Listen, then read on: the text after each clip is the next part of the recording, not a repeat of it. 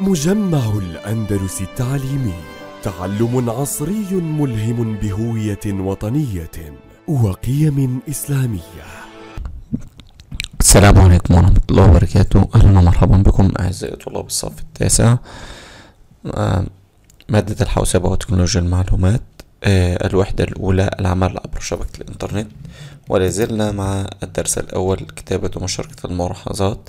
الجزء الثاني تعلمنا في الدرس السابق مفهوم التعاون عبر الإنترنت إيجابيات وتحديات التعاون عبر الإنترنت إيجابيات وتحديات التعاون والتواصل المباشر مفهوم التعلم المستمر أو التعلم مدى الحياة متطلبات نجاح عملية التعلم المستمر أو التعلم مدى الحياة.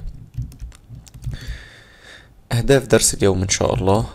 في نهاية الدرس يتوقع أن يكون الطالب قادرا على أن يذكر استخدامات برنامج OneNote يفتح برنامج OneNote ويميز مكونات واجهة برنامج OneNote وينشئ دفتر ملاحظات جديد باستخدام برنامج OneNote وأخيرا يعيد تسمية أقسام دفتر الملاحظات في برنامج OneNote ويضيف قسم جديد وأيضا يقوم بإعادة تسمية الصفحات وإضافة الصفحات.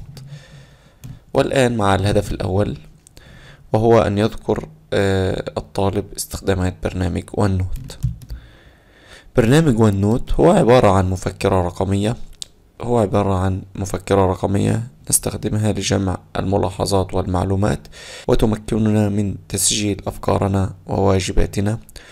ويتيح لنا برنامج OneNote العمل باتصال أو بدون اتصال بشبكة الإنترنت حيث يمكننا العمل عليه بدون الاتصال بشبكة الإنترنت. ونستطيع مزامنة هذا البرنامج على جميع أجهزتنا سواء كانت أجهزة حاسوب أو smart phones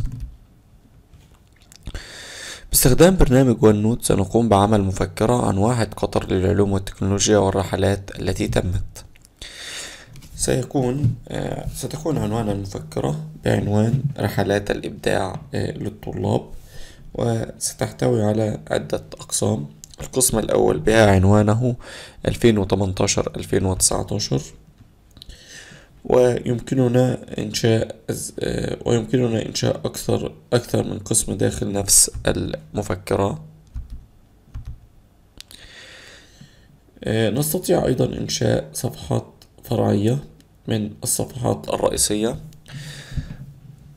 الصفحات الرئيسية وادي السيليكون وأوروبا الأكاديمية العربية التدريب الصيفي ابتكار قطر. هذه هي الصفحات الرئيسية. يمكننا أيضا إضافة صفحات فرعية من الصفحات الرئيسية مثل صفحة تواريخ البرنامج الصفحة الفرعية sub page الهدف الثاني أن يفتح الطالب برنامج OneNote ولفتح برنامج OneNote الهدف الثاني أن يفتح الطالب برنامج OneNote اضغط على زر ويندوز ابدأ. ثم مرر الشريط الجانبي وصولا إلى التطبيقات بالأسفل ثم اضغط OneNote من صفحة تسجيل الدخول اكتب حساب بريدك الإلكتروني مع كلمة المرور كما نرى.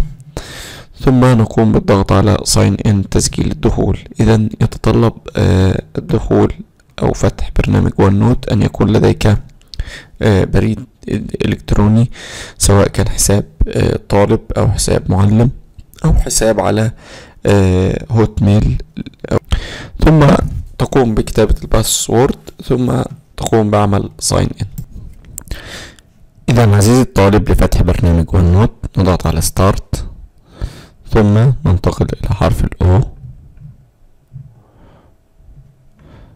نضغط على OneNote سيفتح لنا برنامج OneNote كما نرى بهذا الشكل.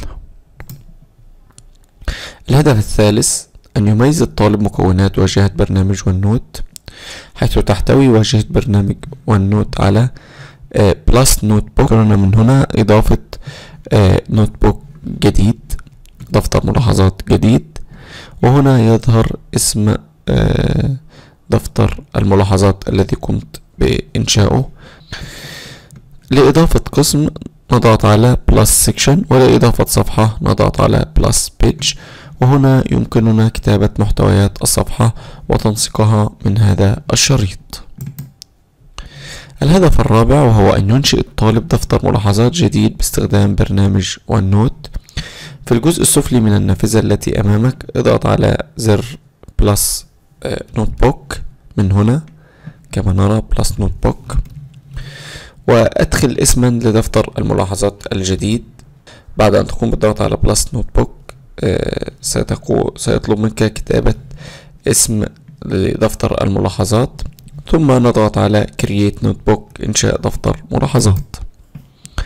الهدف الخامس عزيزي الطالب أن يعيد الطالب تسمية أقسام دفتر الملاحظات في برنامج OneNote ولإعادة تسمية أقسام دفتر الملاحظات نضغط بزر الفأرة الأيمن على علامة التبويب section قسم التي القسم الذي تريد إعادة تسميته ونختار Rename Section يبقى بالزر الأيمن للفأرة ثم نختار Rename Section في مثلنا هذا القسم 2018-2019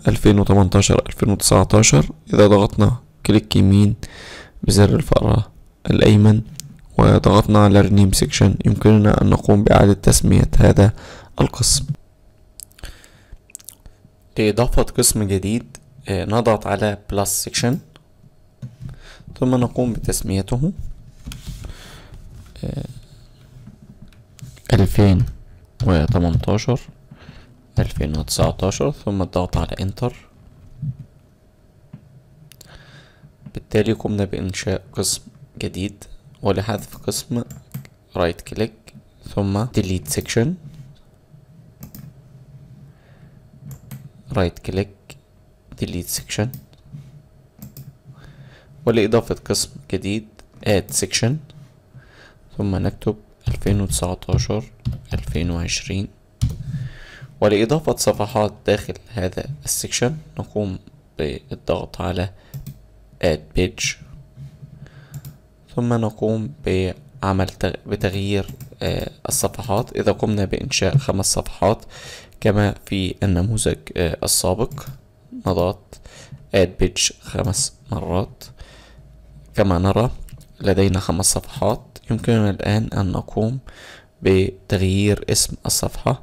بالضغط بالزر الأيمن للفأرة right click ثم نقوم بالضغط على rename page ونقوم بتغيير اسم الصفحة إلى بكتابة اسم الصفحة وادي السيليكون والضغط enter الصفحة التالية right click rename page ونكتب أوروبا. الصفحة الثالثة right click rename page ونكتب الأكاديمية العربية.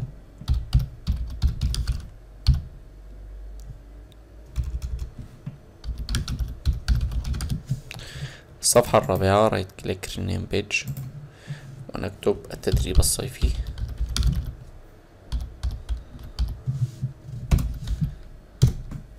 والصفحة الخامسة أو يمكننا الوقوف مباشرة على اسم الصفحة وكتابة ابتكار قطر. وبذلك نكون قد أضفنا وبذلك نكون قد أضفنا أقسام.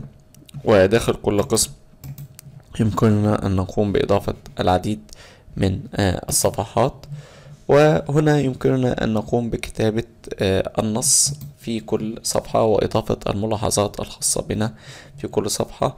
وكما نلاحظ تحت اسم الصفحة يوجد لدينا التاريخ واليوم والوقت وهنا إذا أردنا أن نكتب وادي السيليكون. أو أي نص نريد كتابته. يمكننا الآن أن نقوم بتنسيقه بتحديده. ثم من هنا نقوم بتغيير حجم الخط. ومن هنا تغيير نوع الخط الفونت.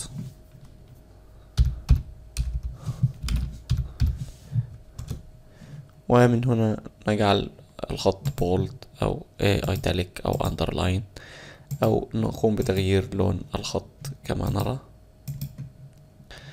وتكون هذه ملاحظة يمكننا أن نقوم بتحريكها في المكان الذي نريد كما يمكننا من نسخ هذه الملاحظة بالضغط right click ثم copy ثم right click paste قمنا بنسخ الملاحظة وبتنسيقها ثم نقوم آه، بحذفها بالضغط على ديليت إذا أردنا حذفها أو إذا أيضا يمكننا أن نقوم بنسخ هذه الملاحظة وإضافتها في صفحة أخرى.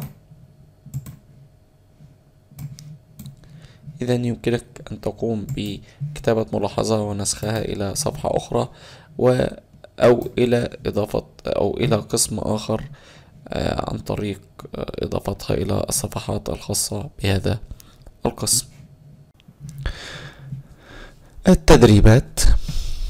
التدريب الأول الزر المستخدم لإضافة دفتر ملاحظات جديد في برنامج OneNote هل هو plus page أو plus section أم plus notebook أم share إضافة دفتر ملاحظات. إذا يكون تكون الإجابة plus notebook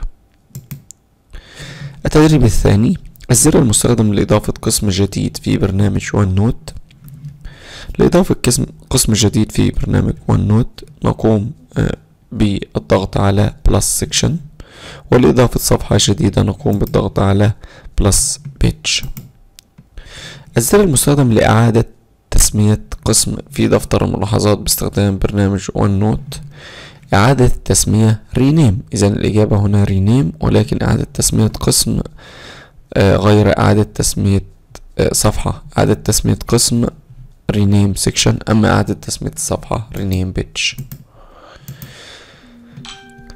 عزيزي الطالب تعلمنا في هذا الدرس استخدامات برنامج OneNote فتح برنامج OneNote مكونات واجهة برنامج OneNote وإنشاء دفتر ملاحظات جديد باستخدام برنامج OneNote وإعادة تسمية أقسام دفتر الملاحظات في برنامج OneNote وإلى هنا أعزائي الطلاب نكون قد انتهينا من الجزء الثاني من درس كتابة ومشاركة الملاحظات وإلى أن ألقاكم السلام عليكم ورحمة الله وبركاته.